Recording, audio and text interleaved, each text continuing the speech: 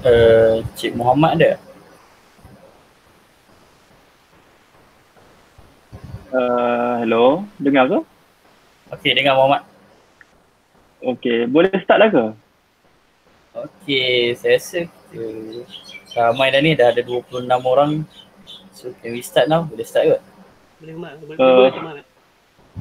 Okey, uh, Assalamualaikum, uh, selamat petang. Saya, uh, alright, so sebenarnya saya just nak share a few things yang saya uh, buat menggunakan PowerPoint convert into video.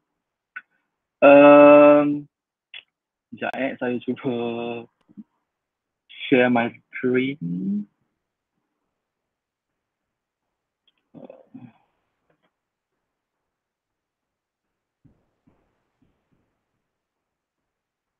Okay.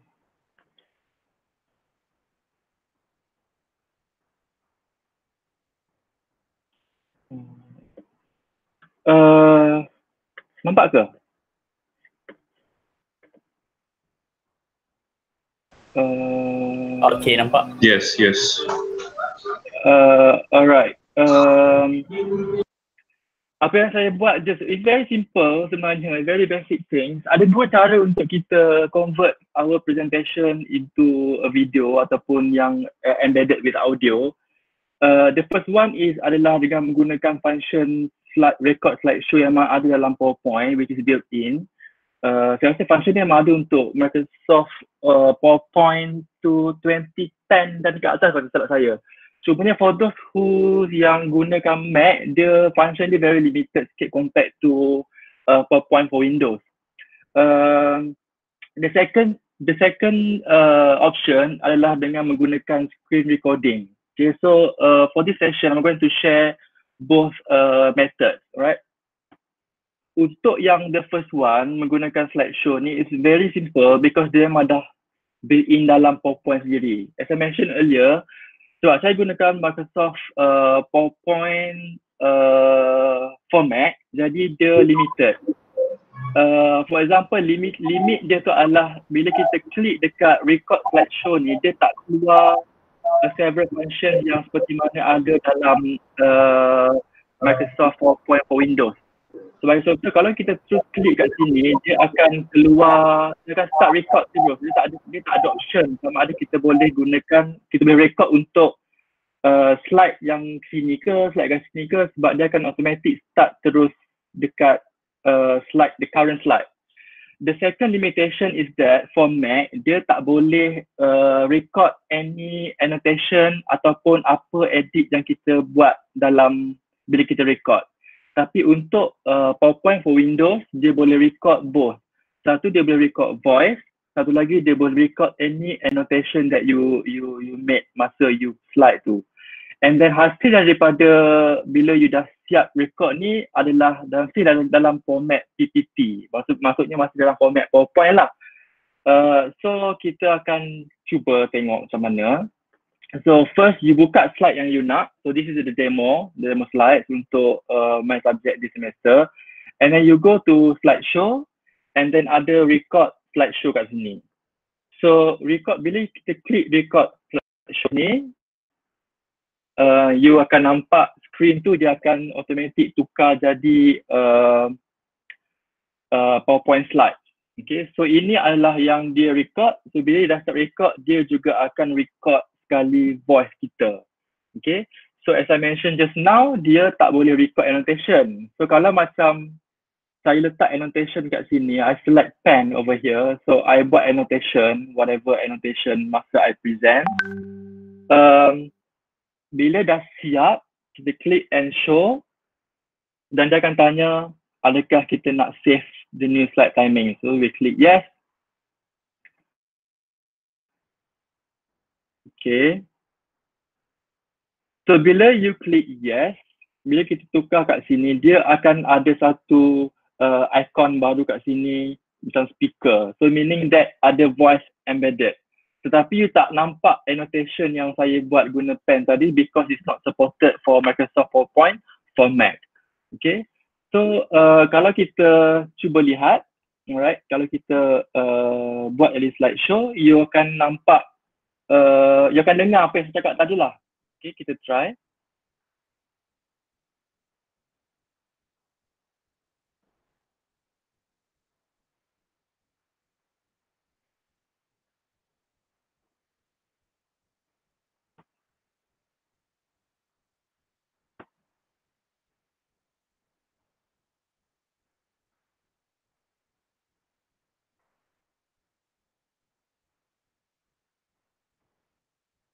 Okay, so itu adalah yang uh, yang kita record. Sebab tadi saya contoh kat sini kan, but you cannot see it because it's not supported for Mac. But for Windows, yeah, I think majority of us kita guna Windows, so it should be no problem.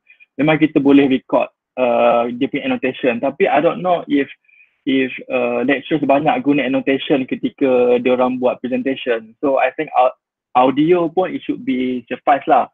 So lepas dah record untuk semua ni, sebab tadi saya saya record untuk the first slide, jadi yang ini je lah ada.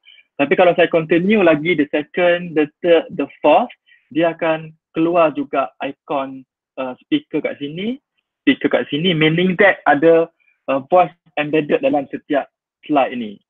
So when you would like to share the slides with your students, what you have to do is you just file, you save as, you save as sebagai PowerPoint uh, presentation, uh, PowerPoint show, ya, yeah, kat sini. So, bila PowerPoint show ni, bila you save as PowerPoint show, dia akan automatic, sama macam movie, atau sama macam video, tapi dia dalam bentuk PowerPoint. Uh, alright, so yang itu first, cara yang pertama. Uh, satu lagi, the benefit untuk PowerPoint yang menggun untuk Windows, dia ada satu lagi function, dia boleh record Uh, kalau kita masuk insert ujung kat sini ada record screen okay? So that one is very powerful function very powerful tool because dia boleh record the entire screen walaupun screen tu bukan powerpoint okay? Uh, dekat untuk Microsoft uh, powerpoint for windows only. Untuk uh, mac tak ada okay? Because powerpoint for mac dia memang dia anak tirikan so there is not there is no function for that um, the second method adalah dengan menggunakan um, dengan menggunakan eh sorry. Uh, can you still see my screen? Nampak nampak. Ah uh, okay Uh, alright, so uh, the second method yang rasa saya guna adalah dengan menggunakan QuickTime. So QuickTime player ni dia uh, untuk Mac juga. Kalau untuk uh, Windows, biasa saya gunakan yang saya namakan, namakan pula. Nama dia Camtasia, okay. So Camtasia ni, dia account dia berbayar tapi dia boleh cuba untuk 30 hari. Um, compared to screen uh, slide recording guna PowerPoint ataupun yang gunakan uh, QuickTime Player tadi yang ini lebih powerful. So sebenarnya saya lebih suka yang ni. So mungkin tak tahulah mungkin uh, PKPA ada cara ke untuk dapatkan uh, tak tahulah crack ke apa ke kan yang free punya untuk Camtasia, Camtasia ni so that kita boleh pakai untuk record screen uh, lecture kita. So kenapa saya cakap Camtasia ni powerful because dia boleh dia bukan saja boleh record screen tetapi kita boleh edit juga bila kita buat screen recording. Kalau untuk yang kita guna PowerPoint tadi, kita tak boleh nak edit. Kalau kita silap, you have to start over. You tak boleh cut. Okay. So risk lah. Sebab tu kadang-kadang kalau biasa untuk record kita dah siap script awal-awal lagi. So you just read the script and then but at the same time you record. But for Camtasia, it's more flexible because you can record and then you can edit. You boleh cut, you boleh insert gambar, you boleh boleh uh, ada banyak lagi punya dia punya effect kat sini. Okay. So kalau you launch Camtasia, you can download it for free, trial 30 hari. Uh, kalau siapa yang pakai Mac, ada ada cara untuk renew dia selepas 30 hari. Dia renew lagi, renew lagi. Tapi kalau untuk Windows tak tahu lah kena, kena tanya PKPA mungkin dia ada cara dia macam mana untuk dapatkan free version of Camtasia. Because it's quite expensive kalau nak beli ya. So untuk record guna Camtasia, you just click open recorder and dekat sini you boleh pilih setting dia. Alright, sama ada kita nak pilih full screen. So kat sini saya gunakan external screen. Okay. ataupun custom region meaning that you boleh select uh, region yang you nak record ataupun dia dah set upkan kita punya size screen yang tertentu. Okay, so yang ini untuk 48, 480, yang ini untuk iPhone 5, yang ini untuk iPhone 6, iPhone 6 Plus, iPad mini and so on. Sebab ini camera sensor dua, jadi kalau yang baru dia ada banyak lagi function. Okay, so biasanya saya just pilih the entire screen lah kot. Okay, and then kamera ni pun kita boleh pilih nak buka ke tak. Kalau kita buka kat sini, dia boleh nampak muka kita dan kita boleh embed sekali dengan PowerPoint yang kita present. Okay. Uh, so kat sini kita boleh voice record. Dia kalau kita gunakan uh, external uh, microphone, dia akan detect kat sini. So right now kita guna built-in microphone ataupun saya sekarang kita guna uh, guna AirPods. So dia detect juga microphone for AirPods. So if you have your external microphone yang high quality, you can use that one. So and then after that you just click record Okay, so you click record, you boleh start terus uh,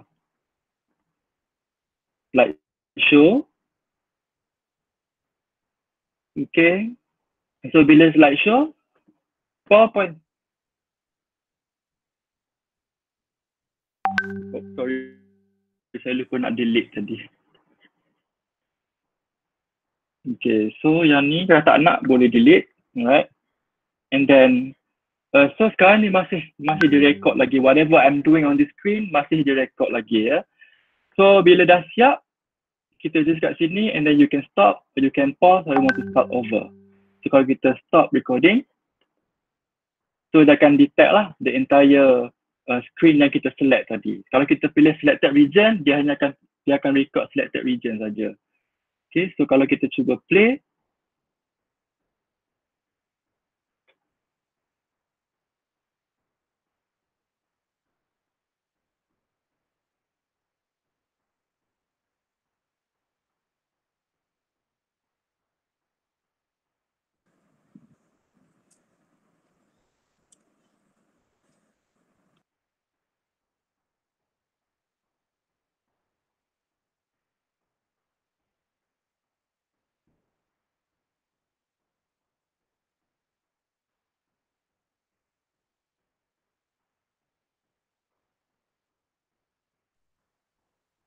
Okay, so yang saya cakap dia boleh edit tadi tu adalah sebagai contoh saya buat silap kat sini kan. Saya lupa nak delete.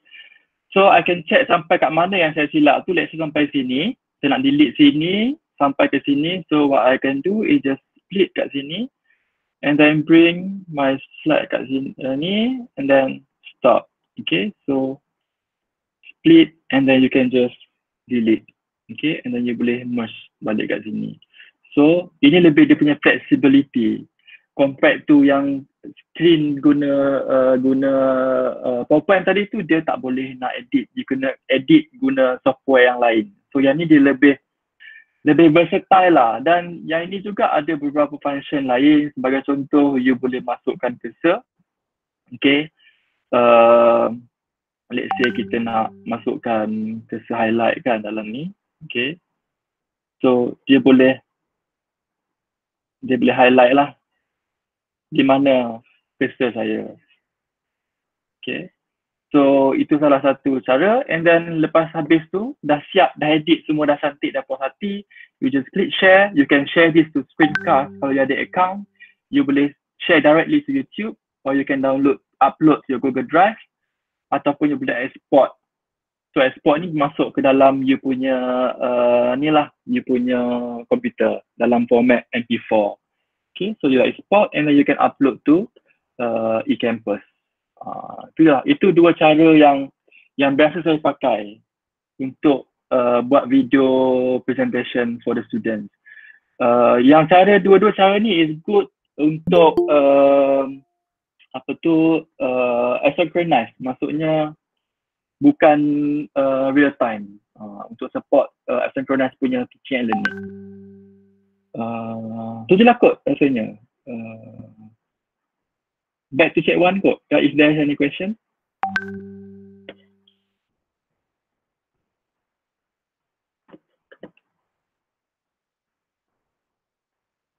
Uh, alright. Uh, macam iMovie, Dr. Raimi. Yeah, it's basically macam iMovie.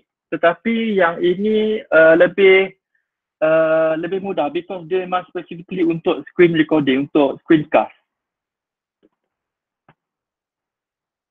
Uh, ya, yeah. so Cik Wan cakap PKP dah subscribe Camtasia, kurang penggunaan, terpaksa dihentikan.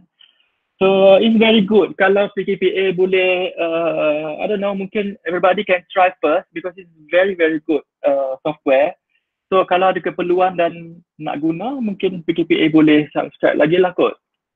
Uh, Dr. Boon kata kalau nak Mac, ya, yeah, you can use for uh, Windows boleh, Mac pun boleh juga uh, Hafiz, Cik Hafiz, ya boleh guna screen, uh, screencast automatic. Ini screencast automatic ni you can go to website dia. Dia adalah web based. Ya.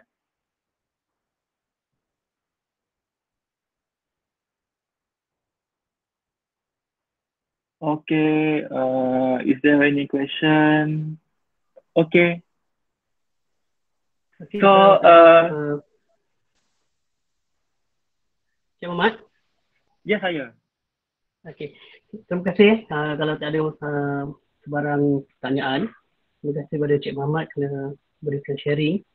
Dan berkenaan dengan software, kami kami akan list down uh, setiap software-software yang diperlukan oleh setiap fakulti untuk, untuk kami subscribe. InsyaAllah dalam masa terdekat. Terima kasih okay, sekali lagi Cik Muhammad.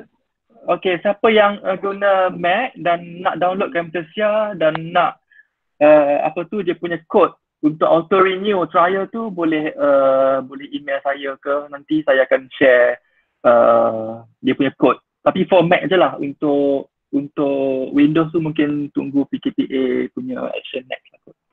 Okay, itu saja. Thank you so much.